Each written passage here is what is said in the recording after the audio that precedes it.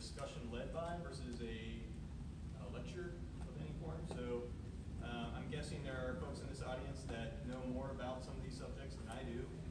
Um, if you do, please don't hesitate to correct me if I make a mistake or uh, add more depth to the presentation. We have about an hour and a half uh, of a conversation, so definitely feel free to um, speak up. A little bit about me. I'm a software developer uh, by trade. I've been in the, more in leadership positions for the past 10 years myself. Uh, I consider myself an applied data scientist. What that means is I'm not very good with math, but uh, I like to solve business problems. So I like to take algorithms and, and work with data and solve business problems that way. Uh, a little bit about my work background. I started my career uh, in New York at G- GE Research, and that was a really great uh, first career start. And uh, but then I got tired of the weather, moved down to Florida, joined a company called Pentaho. Who's here heard of Pentaho before? Some folks out here. So Pentaho, they're they're a pretty large employer now here in, or, in the Orlando area. Uh, they hire data scientists, data engineers, software developers. Uh, they're they're located by the airport. They're now part of Hitachi. Uh, so uh, I joined early on, uh, ended up running the engineering team there for a number of years, and wore many hats. And then uh, after the acquisition from Hitachi, stayed there for a little bit, uh, ran their labs for a while, and then decided to go at it on my own and started my own company called Corvana. Uh, and that's what I'm doing today. Uh, Corvana's uh, an analytics product focused on uh, machine learning data science. So what we do is we try to automate and uh, add some smarts to data discovery. Are folks familiar with Tableau? I'm guessing everybody knows Tableau. So think of Corvana as a smart Tableau. So as you're exploring your data, so are we and giving you insights into your exploration. We also have a, a number of automated analytics built in, so we uh, do anomaly detection, forecasting, those kind of things, and monitor your data for you. Uh, so that's a little bit about Corvana. We are hiring right now, so if you're a back-end Java developer or know somebody who's a back-end Java developer, I'm hiring for that position. And I'm hiring uh, user interface developers, so folks, uh, our whole stack is React-based, so if you're a React developer, let me know. Uh, I sometimes get out of the office. Uh, lately, my out of the office time been dedicated to the Orlando Machine Learning and Data Science community. Uh, we're working on the Embrace Family project, uh, which is an exciting project. I also love Lego. I love Lego robotics. I've been uh, building stuff uh, there for a long time. Uh, and uh, uh, another addiction of mine, which I, it's one of those uh, double-edged swords. It's a fun game. I, I would recommend it, but it can suck up a lot of time. It's called Factorio. I don't know if anybody's ever heard of that game, but it's fun. Uh, so enough about me. Uh, again, I'd like this to be an informal discussion versus a lecture. Uh, here's a quick outline. I'm going to dive in a little bit about what time series data is versus just regular data. Then talk a little bit about anomaly detection, transition forecasting, and wrap things up from there. So why why is time series data unique in the data space, right? You have image data, you have website, you have all these different kinds of data. Time series is unique because of time. Um, time is tough. You, I mean, your data file may just look like this, a CSV file that's just numbers, but there's an assumption in there, there's metadata. Uh, those may have come in at a regular interval, and you need that metadata to really make sense of uh, those data points, right? Uh, so uh, time time's tricky. The you know when the data file has time in it, it's probably in some kind of random format that you maybe can't even parse with standard tools, right? Uh, so you have to figure out the data format. But it, it's it's it's worse than that because time you know human calendars, and human calendars are very messy. Uh, every month has a different number of days, right? Uh, some months have different days depending on the year. Right? Uh, the year, the month I was born happens to be that way. Um, you know, you have leap years and leap seconds, and you have time zones, and you, you have daylight savings time. So dealing with time is, uh, you know, a very challenging uh, element of this entire uh, project. And in my world, in the analytics world, time is always biting us. Uh, I can't tell you how many daylight savings uh, bugs I've had over the years. Um, another unique element of uh, time series data that is different um, is the timeliness of the data. And you know, uh, an anomaly or a forecast, you want it now. You want, um, and you can't see into the future yet. Um, but if you're doing historical analysis, you can sort of see in the future because you can set the time frame and say, oh, I want to, you know, forecast uh, from three years ago to two years ago. And then, and then uh, you can sort of cheat, right? If, if uh, you're not careful with how you set up your tests and your modeling. Another element of time series is periodicity, and I'll, I'll get into all these things in more detail uh, as we go. I just want to give you a little context of time series data versus regular data. Now, time series data, I, you know, these are just univariate examples pretty much up here, but obviously any kind of data can be associated with time series. You can have images associated with time series. So just think of video as really time series images, right? Um, uh, have text, categorical data. It doesn't have to be uh, floats. So now uh, let's talk about anomaly detection. Uh, the most simple uh, anomaly is a, is a point anomaly, right? Something's gone outside of your distribution. It's obviously, you know, it's, it's anomalous in the sense that, hey, that's unique. I want to go look at that. But in time series data, there's other types of anomalies. One is contextual. So let's say it's Monday and um, there's a blip my web traffic. Looks more like it's just blip from Sunday, right? So the traffic has dropped. Um, that, that never left the distribution of data that you see, but the day mattered. So contextual anomalies occur when they shouldn't, right? Because of recurrence and, and such. Collective is, is a form of contextual. Uh, collective is like if your entire Monday looks like a Sunday, or um, you know, how could that happen? Well, maybe Monday was Labor Day, right? And uh, and nobody came to work day, so nobody explored your website.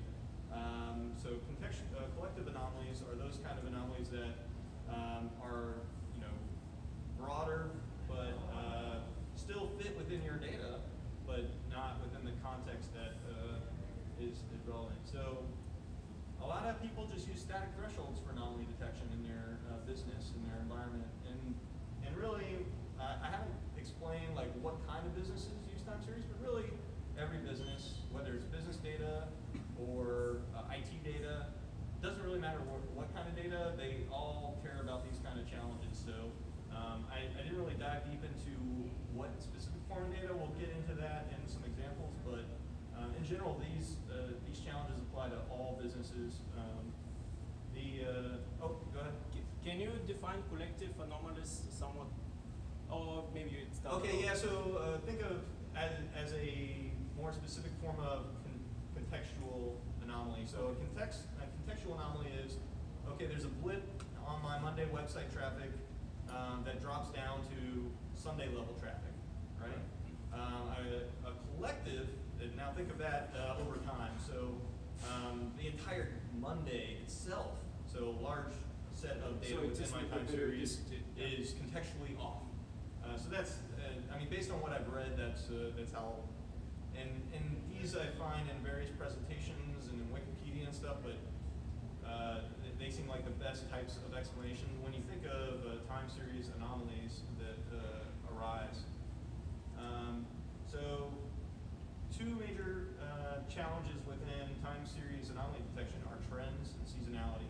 And you need to remove those in order to really get a sense for uh, the data and its and anomalous elements of the data. So seasonality, we talked a little bit about that, but that's pretty tricky. I mean, there's uh, DSP, digital signal processing techniques for removing seasonality. That usually assumes very repeated seasonality. Um, again, every month has a different number of days, so sometimes you have to aggregate your data and treat it monthly in order to really pull out seasonality. And when we get into this, more of the tools and techniques, you'll see the different approaches that folks have taken uh, with removing seasonality. Uh, trends as well, you know, uh, there's linear trends in your data, and there's nonlinear trends in your data, and um, and there's change changes in trends in your data, and you want to remove all that in order to make sense of your data, in order to move towards anomaly detection. Um, so why can't I just use standard models, standard uh, machine learning and statistical techniques with time series? One fundamental element of time series is it's autocorrelated.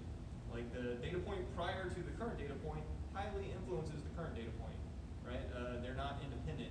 So that correlation between data points is very important in, in all your modeling, and you can't uh, treat each uh, data point as an independent data point. You have to treat it as a collective. Um, another unique element of anomaly detection is how do you measure success? Uh, anomalies are few and far between in an overall data set. Um, maybe it's maybe 99% of the time your data has no anomalies? So that one percent you want to know about, if you're using standard modeling techniques, uh, just the null hypothesis is a pretty good, you know, oh, 99% accurate all the time, right? Uh, so you can't uh, use your standard methods uh, that you use in other machine learning and, and statistical approaches to anomaly detection. Uh, so here's a super simple uh, approach to anomaly detection, and that's just looking at um, moving averages. So, and, or you could look at uh, more advanced versions of this, so like maybe looking at move, like the average median value, and then looking at standard deviation of that, and comparing your current uh, data point to that. But then we miss out on all of our uh, seasonality and trend uh, challenges that I, I mentioned before. But I just want to, like, the simplest form of anomaly detection is this, and it's very easy to implement in a couple lines of code. And a lot of uh, companies will claim, oh, we have anomaly detection in our system uh, because they've implemented this really basic approach, which isn't really very useful in the real world. So I, when thinking about giving this presentation, I, I wanted to, how, what kind of value can I bring to the table? Because I'm not a um, mathematician. So I thought, well, look, where's the data to build these algorithms? Where, you know, and where are the best algorithms, and how do we how do we know that they're algorithms? So I thought, let's take a look at the existing benchmarks that are in the anomaly and, and forecasting space. And, one, and the first one that, I, and I've worked with this benchmark uh, quite a bit, um, is, is something from a company called Numenta. Uh, it's an interesting uh, company. Um, is a, uh, it's more of a research program than a company.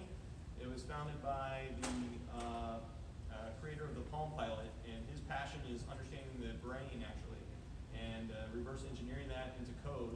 So uh, in, in that context, he's built algorithms, and, and one of his team members came up with the idea of building out an anomaly benchmark, and they thought maybe their algorithm would be the best. So that's how they um, ended up creating this a few years back. And they actually had a prize, uh, not a huge amount of money, but it was nice, a little uh, prize to see if anybody could beat their best uh, algorithms. Um, one great thing about most of what I show you today is all open source, so you can go to GitHub. Uh, most of my links are to GitHub. Um, the Numenta benchmark is out there. There are 50 label data sets. I'll get more into that later. And uh, back to well, how do I how do I validate you know this my algorithm against this benchmark? They have a, a unique scoring algorithm uh, that determines if if your algorithm is, is better than the rest. Uh, so the winner of their competition as of today is them. Um, I, uh, that's always fun. Uh, benchmarks tend to be that way in the industry, at least, uh, where you know a company will put out a benchmark and, and heck, they're, they're going to win it too. But uh, it is a uh, it is a open benchmark that anybody can submit a, a pull request to and and compete. In fact, uh, Corvana early on we were focused on IT data, and we actually we've used this to benchmark our own algorithms. We we did pretty well against uh, algorithms using density-based uh, approaches, um, but we never publish our results, so I can't really uh, can't really go can't claim anything beyond what you're seeing up here. Um, the uh, the prize winner in 2016, so this is a couple years out of date, uh, but the um, but the data is still out there. The was a uh, algorithm. Uh, there was no paper published around the algorithm, but it's open source. You can look at the code. It feels Markov model to me, um, uh, but uh, there's no documentation in the source code either. It's all, uh, I think it was C based. Um, but uh, this gives you a head at. I mean, you can look over at the leaderboard and get a sense for various algorithms that folks used to uh, compete in the benchmark. Uh, nearest neighbors is looking pretty good. I mean, relatively speaking, doing pretty well compared to the rest of the field. Um, So this is current. This benchmark is. Current. This is a screenshot from their website just uh, this past week. So yeah, this is the current benchmark. Again, the, the challenge is somewhat outdated in the sense that it was uh, 2016. Uh, but I haven't seen much movement in the anomaly space around challenges other than this next one that uh, I wanted to share. Uh, here, so here's another anomaly benchmark. Now this is focused on one particular data set while the previous was focused on lots of different types of uh, anomaly detection. So Numenta uh, was trying to solve the general problem of anomalies. Um, this benchmark that I'd like to chat about a little bit uh, was focused on energy consumption and had a pretty big data set, it was 40 million plus data points. Uh, I think it's out of the UK. Uh, and they also included some additional data, so it was a multivariate challenge, including weather data and some metadata about the buildings involved. And they put it out there as a challenge. It was a bit bigger prize. Um, and, and I mentioned here the winner uh, used isolation forest on the weekends and XGBoost on weekdays. They, I, I didn't pick up on why they ended up having to use a hybrid model there. Uh, why XGBoost wouldn't do fine across the entire uh, data set. But again, this is open source data, so you can, uh, I think you have to fill out a form to get this data, but anybody can fill it out and get it. And um, the algorithms and, and the competitors are all open, so you can see what uh, people are using as far as uh, the state of the art of, of anomaly detection to win some cash. The, uh, one area I want to highlight, I think I bring it up in the next slide, so I'll, I'll cover it there. But the again, how do you measure the success of your anomaly detector? How do you even know if you're if you're uh, um, hey, look at that. I need a little cheat thing that shows me what my next slide is. that image is really dark. I hope folks can see that image. So first of all, anybody recognize that image? Matrix. Matrix, thank you, one of my favorite movies. Just had to put that in there. You know, Neo, see, deja vu, right? It's an anomaly. There's a, I saw that before, like a glitch in the Matrix. Uh, so Neo had a pretty good anomaly detector, um, but obviously it didn't work out great for everybody in that scene. Uh, I don't want to give it away, but uh, let's just say uh, it didn't work out great for everybody. Um, so it's hard to measure success of your anomaly detector. You need ground truth, first of all. That's very difficult to get. Uh, finding, you know, and even that ground truth, you know, uh, with the Numenta benchmark, I got very familiar with all the 50 data sets, and you could argue, like, is that really an anomaly? They marked it as an anomaly, but is it really an anomaly? So the real world is messy, right? And so getting ground truth is, is one of the biggest challenges to successful anomaly detection. And that's why benchmarks, public, you know, public data sets can help in, in validating your algorithms. The second challenge is, well, there, there's a lot of trade-offs in an anomaly detector, so I, I came up with noise, novelty, and negatives. So uh, obviously, if you're sending out alerts to your customers or, or through your system all the time, there can be a lot of noise in a uh, untuned anomaly detector.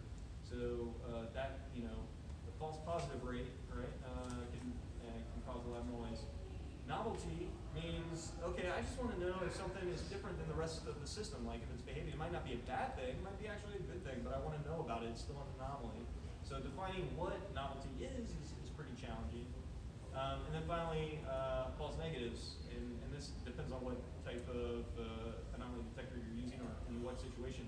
If you're in a healthcare situation and you needed to know, is there, you know, if that heart stopped beating or something like that, and uh, you have some false negatives, you're going to be in a lot of trouble, right? But in other situations, uh, maybe false negatives aren't important.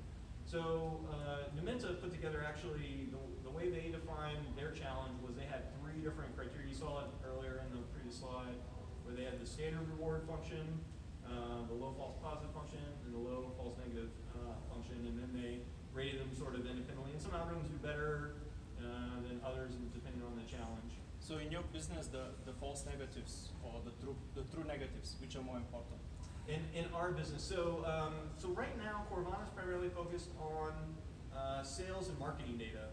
So uh, we're looking at uh, sales pipelines and forecasts, and, and how is how is a, uh, a metric impacting lead conversion, things like that. So for us, it's not uh, like healthcare where Yeah. you know it'll be the end of the world if we miss something. You know, finding some, you know, I think uh, our our customers care more about novelty, right? uh, and learning from that experience more so than oh, an IT situation where hair on fire, I have a system outage or something like that. Well, in healthcare, it's not so much. Well, obviously, you don't want to miss, but it's also you don't want to to send people, you know, like the, the false uh, the false positives. Yeah, I mean So- all. Yeah, Yeah. yeah, the rate, etc. So the exp- you know, uh, but anyway, all right. So in general, in marketing and sales, I guess, you know, uh, This is all, and yeah. the truth about a lot of this technology, it's pretty new to the marketing sales front. Uh, they're just happy to see a metric sometimes.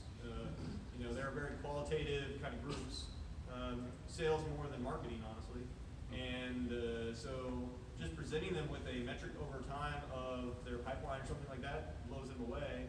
Uh, so sometimes we don't even need to get into advanced analytics with them, with customers in order to impress.